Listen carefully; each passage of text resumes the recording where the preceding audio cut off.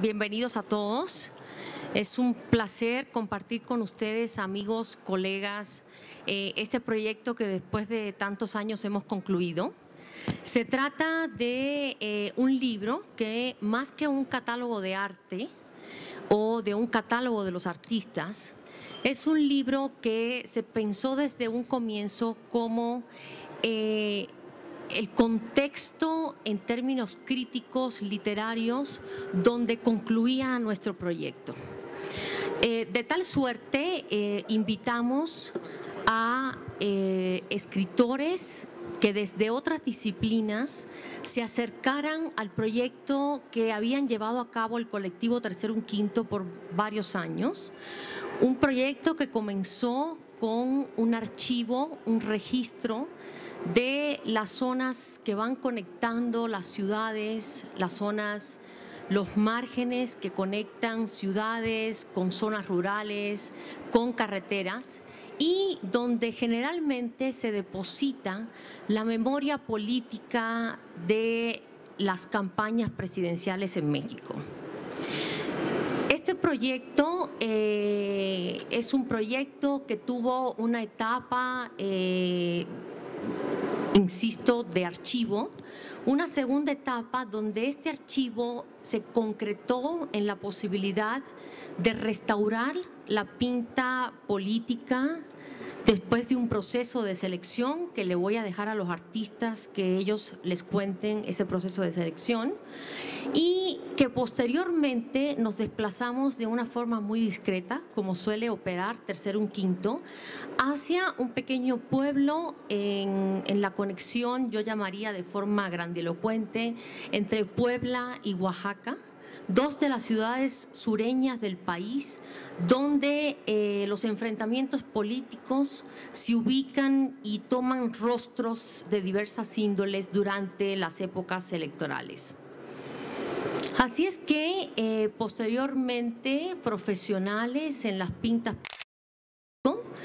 donde eh, los murales se fueron convirtiendo en palimpsestos, como los llama uno de los autores que participan en el libro, hasta que tuvimos una capa pictórica eh, muy a la usanza de nuestros museos, muy a la usanza de nuestras historias, ¿no? Estas capas de pintura que van resguardando la historia y que una vez se develan van contando historias eh, escondidas, eh, historias que pasan por el tiempo y se posicionan desde otros lugares.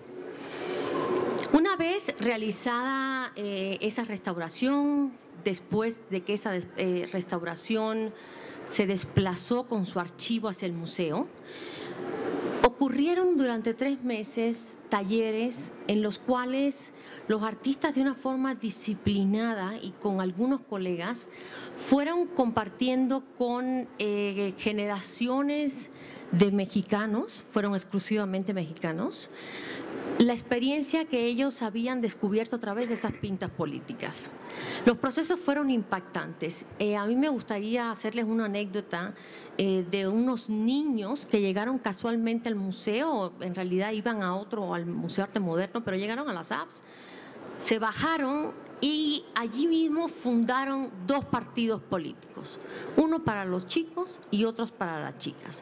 Se enfrentaron, prometieron obviamente jugos, dulces y lo interesante de esta anécdota, más allá del, sabor y de la alegría que, le impuso al museo ese día, es que somos animales políticos en este país desde que somos pequeños, ¿no? Eh, México es un país profundamente político, donde la memoria, la, en general la construcción intelectual del país, se rige mucho por su historia política. Eh, un punto que les dejo a nuestros antropólogos Enrique Serrano y Sergio Raúl Arroyo. Así es que eh, después de concluido este proceso, también participaron obviamente eh, grupos de la tercera edad, estos dos grupos que Tercero Un Quinto perseguía como otra vez dos de los márgenes polarizados de la sociedad. Eh, algunos grupos de, la tercera edad obviamente hacían referencia a aquella memoria del 68. Eh, en muchos de ellos sobrevivía, digamos, ¿no? Y recordaban con mucha seriedad y con gran dignidad, digamos, momentos importantes de esos años 60 y 70 y de los posicionamientos de izquierda en el país. Así es que después de toda esta experiencia, después de eh, haber hecho un despliegue profundísimo de la práctica del tercero un quinto como colectivo por muchos años, eh, nos ahondamos hacia este libro. Invitamos entonces a un politólogo, eh, a José Waldenberg, quien tuvo también la amabilidad de colaborar con nosotros. Invitamos a un escritor a que delucidara al muro Así, de tal fortuna, está Guillermo Fadanelli colaborando en este libro. Invitamos a dos antropólogos a que nos acompañan el día de hoy. Enrique Serrano y Sergio Raúl Arroyo. Ellos desde distintas perspectivas han estado relacionados al trabajo de Tercero Un Quinto y eh, nos interesaba también mucho eh, estos estudiosos que van desmembrando a la sociedad desde otra perspectiva la lectura que podían tener del proyecto que habíamos desarrollado. También colaboró con nosotros Itala Schmelz, quien nos interesaba en particular porque ella había dirigido la Sala de Arte Público Siqueiros, porque ella conocía la obra de David Alfaro Siqueiros y por tanto eh, nosotros consideramos que podía construir un paralelismo eh, entre ese gran o el macro lenguaje moderno de México, eh, del muralismo mexicano y nuestra postura atrevida, transgresora en relación a esos muros históricos. Eh, yo diría que el libro lo cierra un ensayo técnico eh, verdaderamente hermoso, donde cada uno de los términos que salen del ejercicio de la restauración encuentra un lugar muy simple, muy llano, pero verdaderamente puntual, que realizó Claudio Hernández y que también hoy nos acompaña. Eh, por último, señalar que los artistas realizaron dos ensayos visuales que ustedes podrán ver en este libro. El primero es un ensayo donde investigaron archivos históricos de distintas instituciones en el país. Entre ellos está el Anahuacalli, está el archivo obviamente de la Sala de Arte Público Siqueiros, el archivo Televisa, el, de el Instituto de Investigaciones Histórico de las Revoluciones Mexicanas. Eh, de todos estos archivos, los artistas realizaron una curaduría que de veras los invito a analizarla. Es una curaduría muy interesante de la imagen y de la construcción visual de los partidos políticos en México a través de sus fotografías. Eh, es una parte trascendental, yo diría, en el libro, un, gran aporte este ensayo visual. Y por último, obviamente, está cómo representan cómo representa tercero un quinto la obra que desarrollaron y deciden dividirla básicamente en dos etapas. Entonces, eh, les doy la palabra entonces, bueno, nos acompañan también Rolando Flores y Gabriel Casares, dos de los miembros del colectivo Tercero Un Quinto, y yo los invitaría a, creo que sería interesante primero que nos contaran de la obra, cómo se concretó al final esta pinta en especial y eh, los ensayos visuales, ¿no? Gracias. Pues eh, como está también de alguna manera fechado en, el, en el libro, el proyecto abarca un periodo de trabajo de alrededor de 15 años que por supuesto los últimos fueron los que se fueron volviendo un poco más acelerados para ir concretando y tomando decisiones, pero nosotros lo fechamos en el 2000 porque fue la primera vez que, los integrantes de Tercero Un Quinto discutimos la posibilidad de, llevar a cabo este proyecto. Y nosotros lo recordamos como en el marco, digamos, de, de un contexto tanto efervescente en, un sentido político y social, porque eran las campañas del 2000 cuando se vislumbraba un inminente cambio de, partido y de gobierno o una posibilidad de, cambio, ¿no? que era de hecho el lema. Este, esa fue la primera vez que discutimos el proyecto y que empezamos a generar unos primeros apuntes, unos primeros registros y que, que eventualmente íbamos haciendo estos levantamientos por las, pues no sé, eh, prácticamente decidimos que eran sobre todo en los pequeños pueblos, es decir, en, los contextos periféricos, donde empezamos a trabajar y hacer este, este levantamiento de las, de las pintas de campañas políticas, ¿no? Sí, como un reconocimiento de esa especie como de desde los centros urbanos, digamos, y lo que estos centros urbanos eh, eh, no sé cómo llamarlo, irradian exactamente, avientan fuera de, esa idea de conglomerado o de unidad.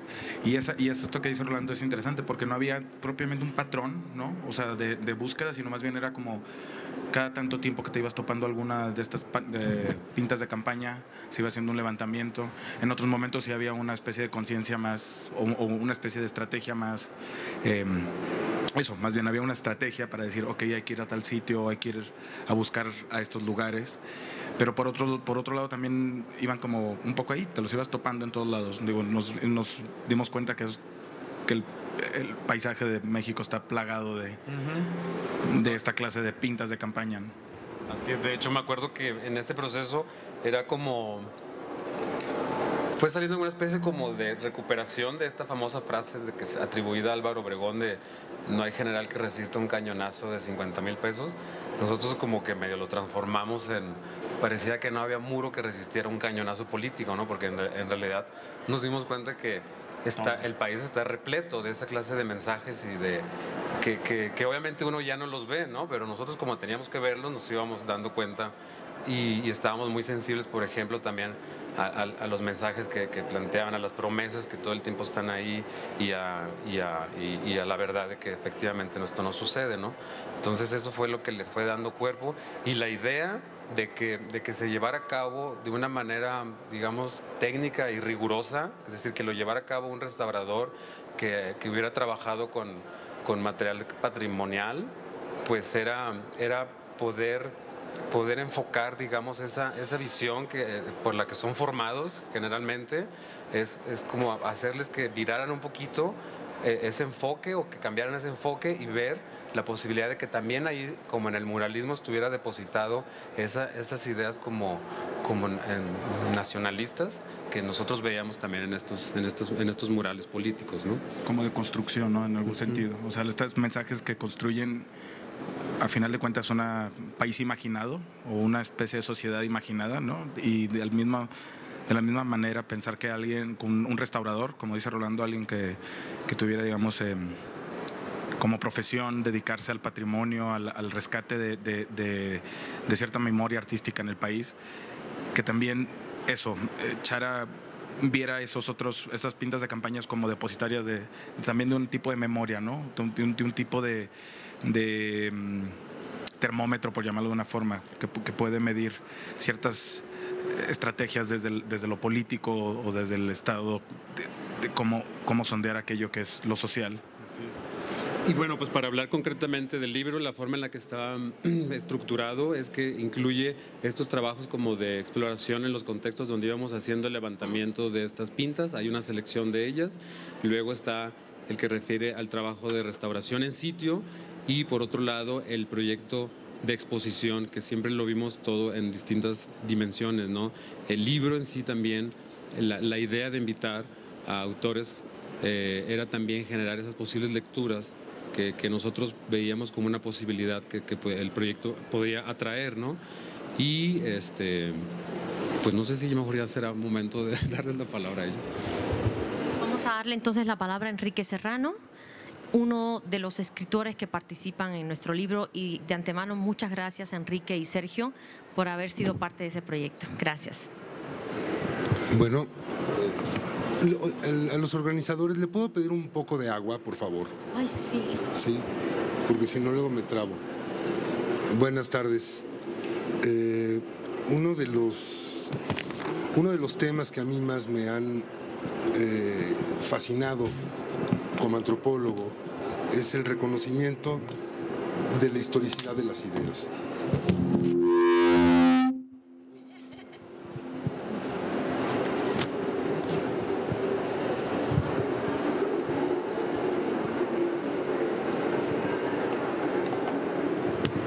es el reconocimiento de la historicidad de las ideas, es decir, que el pensamiento, el saber, la práctica científica eh, no es producto de una serie de acumulaciones o de descubrimientos que se van acumulando, sino que responde a una serie de procesos mucho más complejos en donde las personas, los sujetos que nos dedicamos a pensar y a construir el pensamiento, somos nada más un elemento más de, un, de todo un conjunto de procesos más complejos. En ese sentido, el reconocer en primer lugar que es un trabajo el, libro que se presenta hoy, Restauración de una pintura mural, es un trabajo que se construye, que se construyó como comentaron los autores y la misma Tayana Pimentel a lo largo de 15 años de trabajo, en donde hubo una serie de eh, elementos que fueron emergiendo, que se fueron construyendo por parte de los artistas a lo largo de todo este tiempo que desde empezando por un trabajo que es donde a mí como antropólogo me empezó a llamar muchísimo la atención, la semejanza en el trabajo del antropólogo y el trabajo de los artistas contemporáneos, porque era una manera de hacer una arqueología de superficie, como un primer reconocimiento de qué es y cómo está construido el paisaje. Eh, desde ahí, ese primer reconocimiento, esa primera documentación, de, de la manera en cómo se han ido plasmando en los muros del país eh, en todo tipo de pueblos, en las zonas rurales más alejadas o en las ciudades, la memoria política y cómo la fueron documentando y construyendo para hacer la propuesta que incidiera directamente en un, digamos, un paralelismo como uno de los ejes de la memoria mexicana. Eh, y este, este, este proceso histórico, este proceso complejo que duró 15 años, precisamente no culminó únicamente en el momento en que estuvo eh, abierta la exposición en la Sala de Arte Público Siqueiros, que fue alrededor de 2012, 11, sino que culmina precisamente y, en este momento con la presentación de este libro. Eh, uno, los ejes centrales de la propuesta de tercero un quinto es, eh, se, bordan sobre las memorias. Eh, las memorias como uno de los elementos que nos definen como sociedad, que nos definen, ¿no se oye? Que, nos definen como, perdón, que nos definen como seres humanos y las memorias en los sistemas de representación que han prevalecido durante el proceso de construcción del Estado-Nación, del Estado Nacional Mexicano, desde dos ángulos de, de visibilidad antagónicos pero al mismo tiempo complementarios. Por un lado, el muralismo y las prácticas del arte en una perspectiva histórica y por otro lado la memoria que podemos recuperar del sistema de, partidos y el modelo y mecanismos que se gestaron a partir de la revolución, por lo menos eh, de la revolución mexicana hasta la época, hasta la contemporaneidad.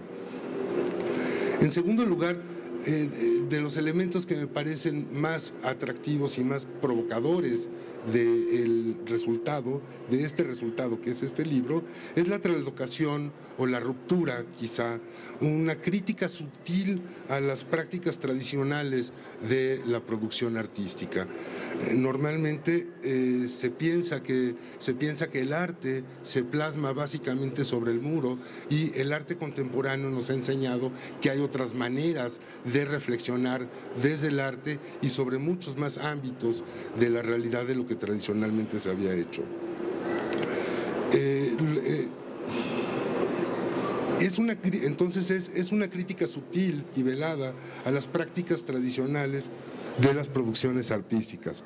El resultado de una exposición generalmente es un catálogo. En este caso, lo que tercero un quinto produce y produce provocativamente es precisamente un libro. Y eso marca una diferencia radical sobre las prácticas del arte tradicionales en nuestro país y seguramente en otros países. Eh, el eje central de la, propuesta es eh, poner en cuestionamiento a la pintura como institución que en México se expresó en el muralismo como bandera a la, provocación que resulta de la convocatoria a especialistas vinculados con algunos de los múltiples ángulos o artistas con la producción artística, o aristas, perdón, con la producción artística de tercero un quinto.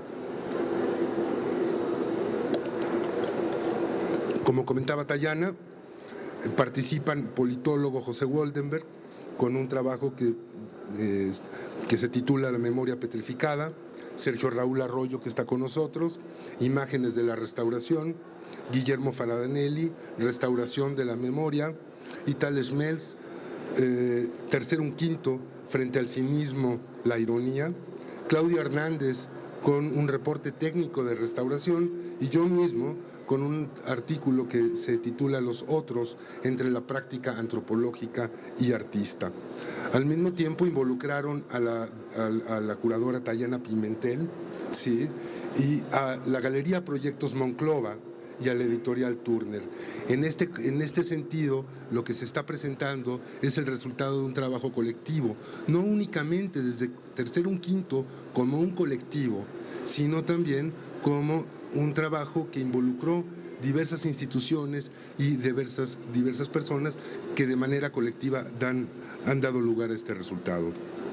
Y el resultado, más allá de, mis preocupaciones personales y reflexiones que quedaron plasmadas en el texto, y yo creo que este tipo de ejercicios y este tipo de presentaciones eh, deben estar dirigidas sobre todo a provocar a los que están acompañándonos para que compren el libro y lo lean y lo podamos discutir, más allá de mis preocupaciones personales y reflexiones que quedaron plasmadas en el texto que se presenta y que pertenece a Tercero un Quinto, lo que importa es este libro, el objeto que circula, un conjunto de ángulos de visibilidad y ángulos y formas de reflexión y de pensamiento que respondieron a la convocatoria o provocación de tercero un quinto y que ahora nos invita a soltarlo como una propuesta más para dialogar desde el sistema de, saberes, de esa noósfera en donde todas las ideas están circulando.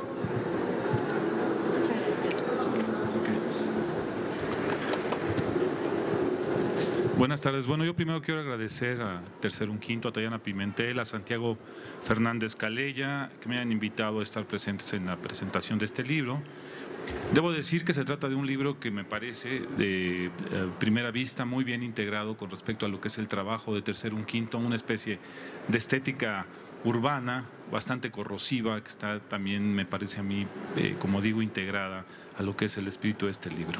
Yo debo decir que mi relación con Tercero Un Quinto empezó hace unos años, creo que habrá sido hacia el año 10, 2010, 2011. Bueno, por ahí de 2011, 2012. Fue, estábamos hablando de restauración y me pareció significativo que fuera en una época así, tan, tan remota. Pero el asunto está en que ellos hicieron, yo, yo dirigí durante algunos años el Centro Cultural Universitario Tlatelolco y ahí Tercero Un Quinto hizo una de, las, una de las acciones más importantes que consistió en desmontar el círculo, el círculo que envuelve al escudo nacional de la fachada. Es una, una, un relieve en mármol que Tercero Un Quinto desmontó. Era en un inicio un, una intervención que a mí me parecía no representaba eh, demasiada audacia si tenía que ver esto con una, eh, pensando sobre todo que esto se iba a quitar el primero de octubre, iba a estar en la mañana del 2 de octubre de ese año, no me acuerdo cuál, pero de ese mismo año, 2000, ah, fue antes. Ah, entonces fue en los 40 años del 68, 2008. He perdido yo también la noción de lo que es el tiempo, pero fue entonces en 2008 cuando ellos hicieron ese desmontaje. Entonces, esa madrugada del año 2008, el 2 de octubre de 2008, la fachada de lo que era el edificio de lo que fue la Secretaría de Relaciones Exteriores, de lo que fue la Cancillería mexicana, amaneció con este enorme vacío que correspondía a este círculo, a esta circularidad convertida en nada de la noche a la mañana por parte de Tercer Un Quinto. Cuando yo pasé esa mañana me di cuenta que sí, que efectivamente era bastante más fuerte la pieza de lo que yo hubiera supuesto en un primer momento. Pero debo decir que al día siguiente fuimos primera plana de varios periódicos, en primera plana, en, plana política y en algunos la primera plana cultural. Eh, y debo decir que el día 3 de octubre, a eso de las 11 de la mañana, me habló un capitán del ejército preguntándome qué había pasado con el escudo nacional. Tuve que decirle que lo estábamos limpiando, que además era cierto, tercero un quinto es impecable en ese sentido y estuvieron ellos haciendo una buena limpia del escudo nacional frente a ese terrible vacío y el recuerdo que dejaba todavía había una impronta muy fuerte del 2 de octubre eh, del 68 todavía en el ambiente de Tlatelolco. A partir de ese momento pues me situé ya un poco entre el grupo de gente que está interesada en su trabajo, somos amigos y me pareció que esta intervención, esta restauración tenía una línea perfecta, una línea de continuidad perfecta, muy clara con el resto del trabajo que habían desarrollado a lo largo del tiempo. Es un trabajo que tiene un peso político muy sutil y muy interesante, es decir, no se trata de este arte panfletario que remite directamente a una especie de lucha que no deja, eh, que no da trinchera, sino se refiere más bien a una enorme sutileza de carácter político que hace que se profundicen las relaciones contradictorias que hay entre el poder y la vida real. Quisiera leer un texto que tiene que ver con esto, es un texto muy breve. Si Enrique Serrano me presta sus anteojos, podré leerlo para ustedes en un momento. ¿Qué imágenes serán el legado de quienes quieran conocer el futuro de nuestra intrincada, vida cotidiana? No lo sé pero sin duda algunas de ellas provendrán de los escenarios de la vida política, como el de la pinta electoral que se hizo en el año 2000 en San Andrés, Cacaloapan, Estado de Puebla, en la que Julio Castro, Gabriel Casares y Rolando Flores, el colectivo Tercero Un Quinto, desarrollaron un encuentro con la emblemática de nuestra vida institucional, uno más de esos encuentros. Se trata de una de tantas pintas hechas en buena medida para declinar todo raciocinio analítico que pudiera gravitar en un sistema político, pero de gran importancia para configurar reacciones pavlovianas para el electorado. Curiosamente, la obra del trío no abunda en el esperpéntico laberinto electoral, sino en la convivencia de la persuasión política con el paisaje de todos los días.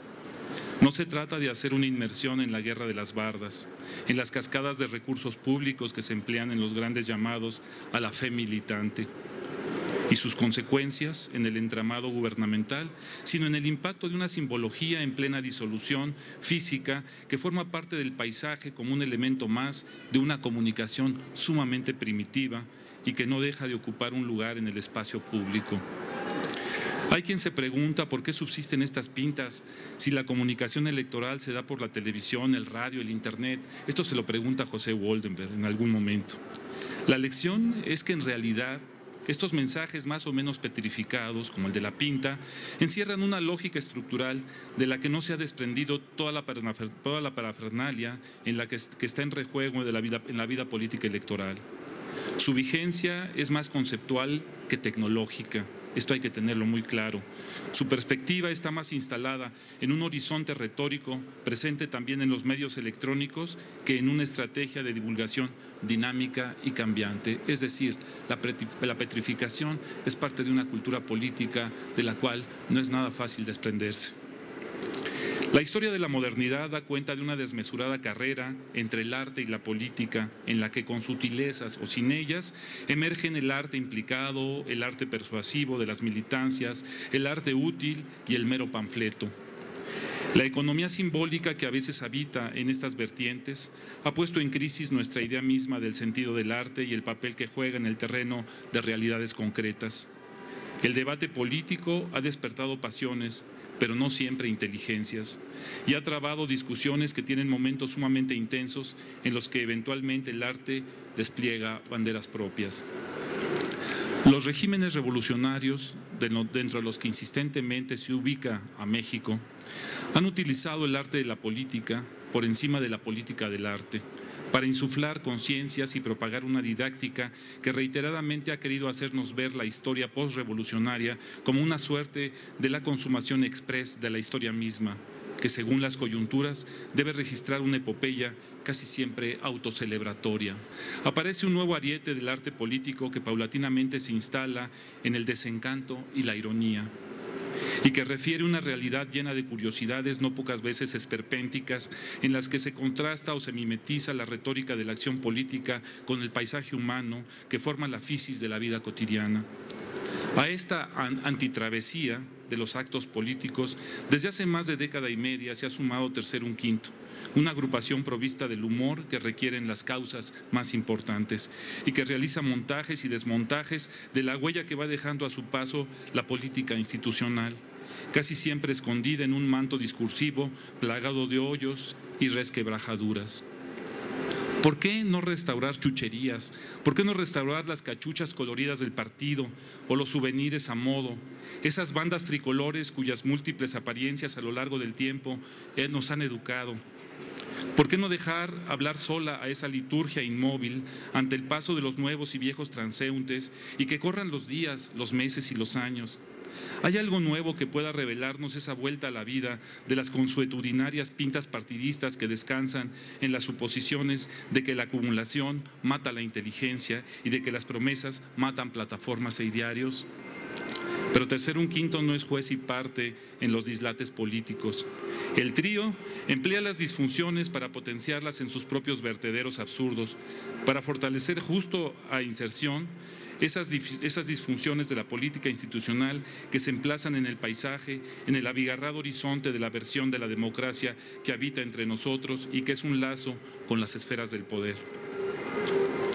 Con una violencia discreta, el colectivo ha organizado su inventario de acciones. En su obra circulan las intervenciones a oficinas, muros gubernamentales, plazas y todo tipo de edificaciones que han sido el laboratorio donde debería consumarse la metamorfosis social por medio de la administración pública y sus trampas metafísicas. De modo decisivo, Tercer un quinto inserta su trabajo en el mundo cotidiano, hace una transferencia de síntomas e imágenes sin trastocar la práctica institucional sino más bien sometiéndolo a, la virulencia de la lógica, llevándola a sus últimas consecuencias. El colectivo sabe que no se puede transgredir al arte del conservadurismo empleando su mismo instrumental y sus mismos mecanismos discursivos, anclados en el rechazo de realidades que vayan más allá de lo habitual o del mero productivismo.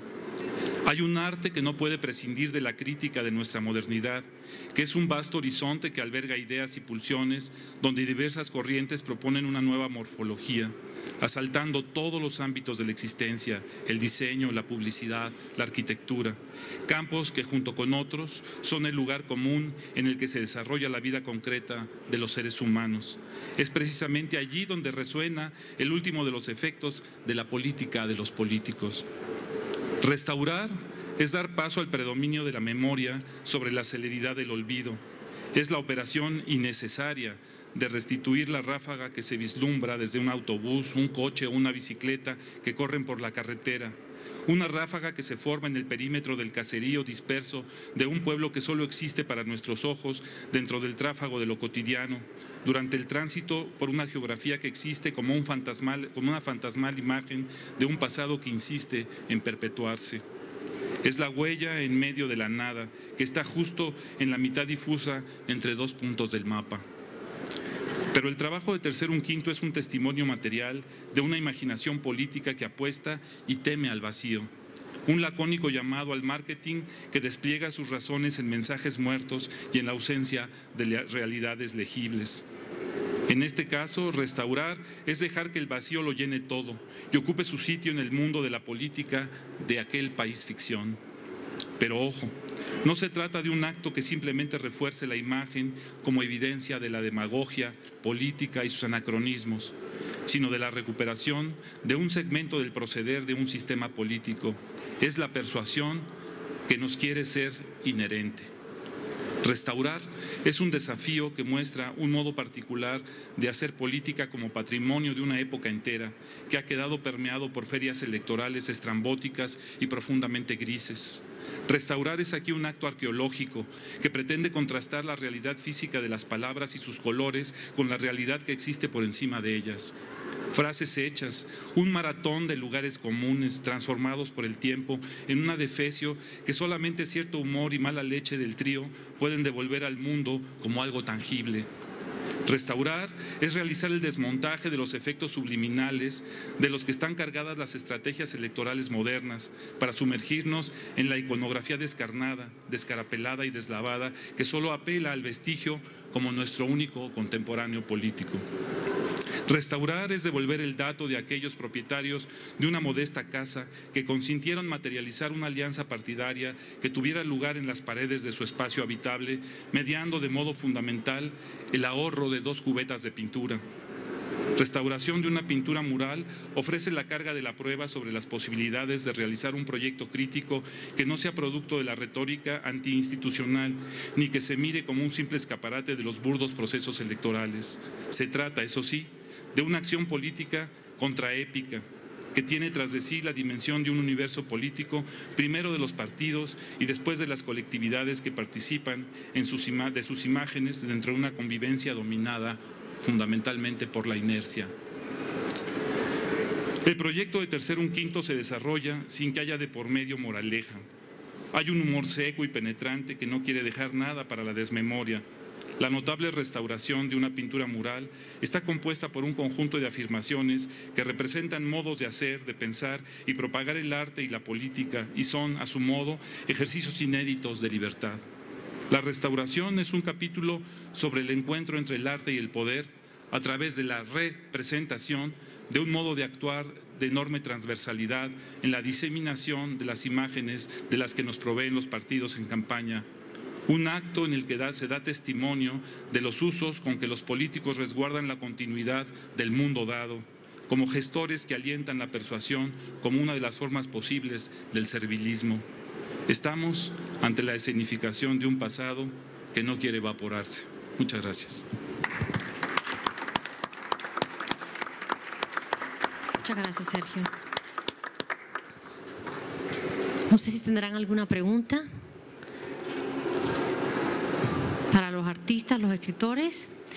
Bueno, entonces eh, no voy a cerrar esta presentación sin antes agradecer, obviamente, a los autores que participaron en nuestro libro, a los investigadores y coordinadores de los archivos históricos que nos asesoraron y nos permitieron la utilización de esas imágenes. Particularmente agradecer a Polina Estroganova y a Teófilo Cohen. Sin Proyectos Monclova no hubiésemos tenido hoy este libro.